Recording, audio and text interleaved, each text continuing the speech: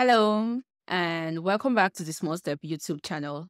My name is Linda Ikechukwu, and I'm a developer advocate here at Smallstep Labs. Today, I'd like to help you understand what provisioners are within the Smallstep ecosystem and also show you our new provisioner management UI feature. Now, before I get into that, let's define and describe what provisioners are.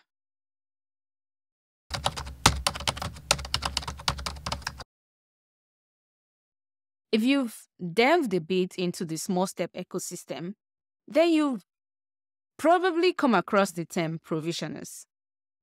Provisioners are a proprietary lingo within the Smallstep ecosystem, and they're very foundational to how the small step certificate manager works. Let me explain. The Smallstep platform supports different protocols or methods for obtaining certificates tailored for different workflows, entities, and endpoints. Each certificate issuance method or protocol has its own authorization policies and configuration requirements. And this is where provisioners come in. Think of provisioners as endpoints on the Smallstep certificate authority that implements the different supported certificate issuance methods. They're mostly responsible for two things. One is to verify that the entity requesting a certificate is indeed authorized to contact the CA and is eligible to request a certificate based on the authorization or authentication policy necessary for the certificate issuance method in question. The second thing provisioners do is that they define configuration options like certificate templates, default minimum and maximum certificate lifetime, and renewal policies that are mm. ideal for that particular certificate issuance method. So think of it as like obtaining identity documents for a car, a pet, or yourself.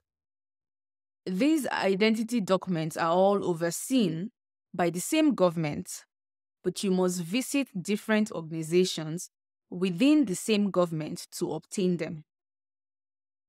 For example, the driving license organization does not issue national identification cards or passports. So, while you might use a single CA to issue certificates to all of your endpoints, depending on what you want to use the certificate to identify or what kind of workflow you're trying to achieve or implement, you have to go through a corresponding provisioner that has the capacity to do exactly what you want.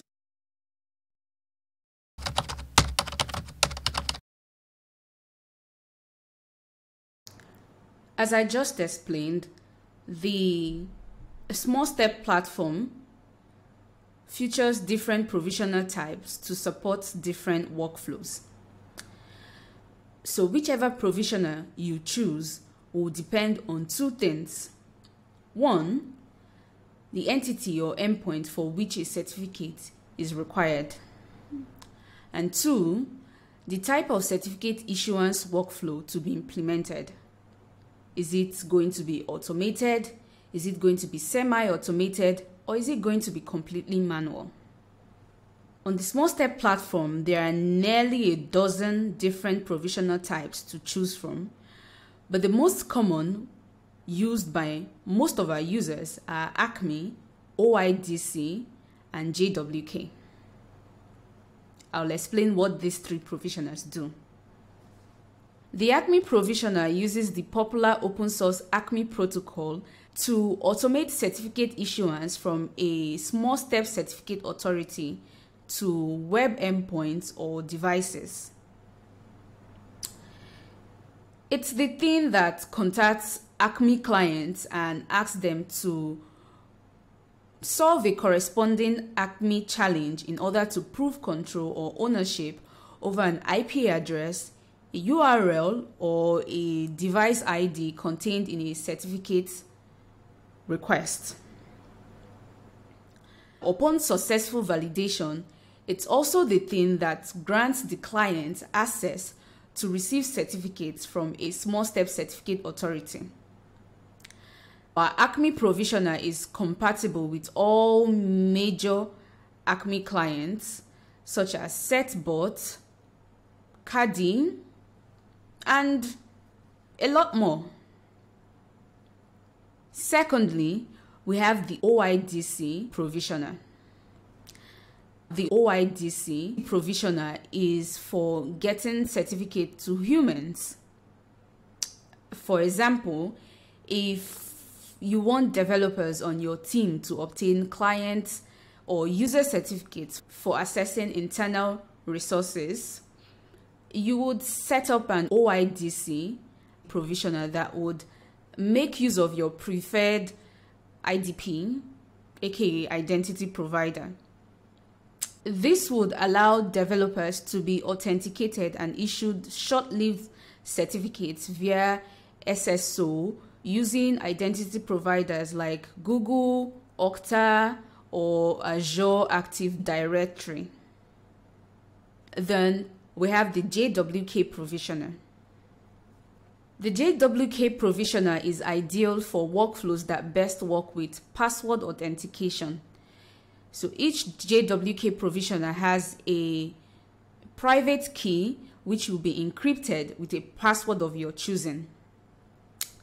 When a JWK provisioner receives a certificate request, it prompts for the encryption password.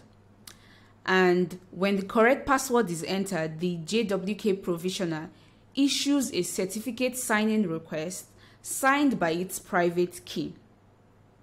Then the CA can then issue a certificate after verifying that the request has been signed with the JWK's private key using its public key. For more information on choosing a provisioner for your desired use case, please see our provisioner documentation linked in the description below.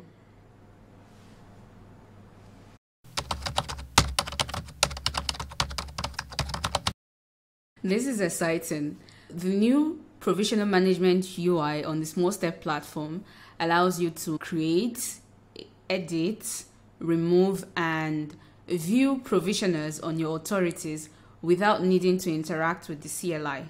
With the new provisioner management UI, there is no need to go back and forth to the docs to look up commands. First, I'm going to create a default authority.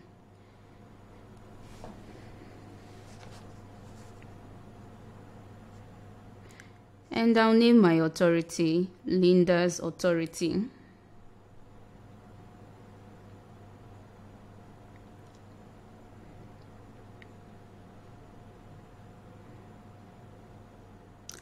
Then I'll also change the subdomain just because.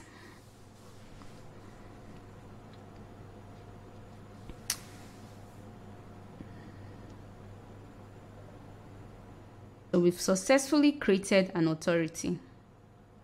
Scrolling down, you see that there is an already pre-created provisioner on our new authority. So by default, when you create a new hosted authority on the Smallstep platform, it comes with an OIDC provisioner, which will be used to authenticate you, the authority admin, via OIDC for administrative actions. Now as you can see there is an add provisioner button and we'll click on that to add a provisioner. From this UI we can add either a JWK provisioner, an ACME provisioner or an OICD provisioner. Let's try adding an ACME provisioner. I'll leave all other options as the default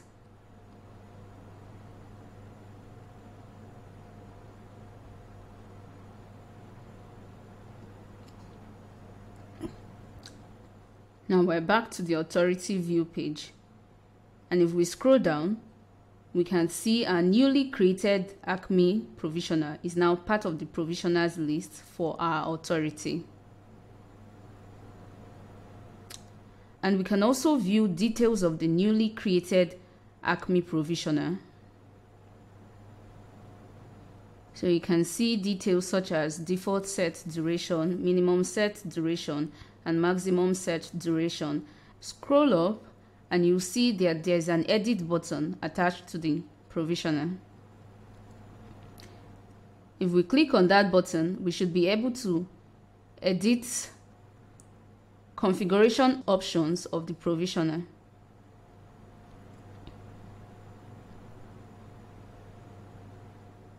I'm going to switch up the certificate duration and make it 60 days instead of one.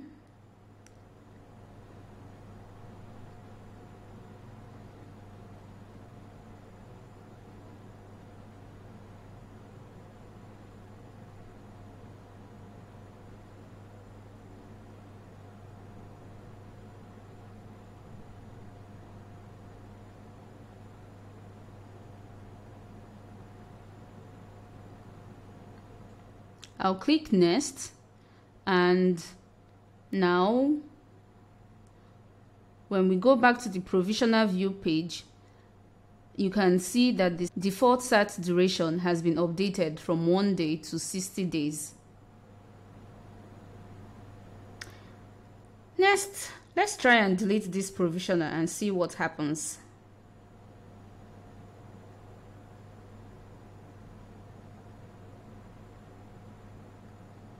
Click on delete. Now when we go back to our authority view page as expected you can see that our acme provisioner is no longer part of the provisioner list on our authority. And that's it. That's the provisioner ui management feature.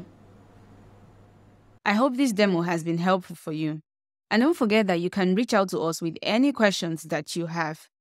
And if you're new here, we have a Discord community where we all hang out. Links in the description. Do join us. Catch you later. Bye.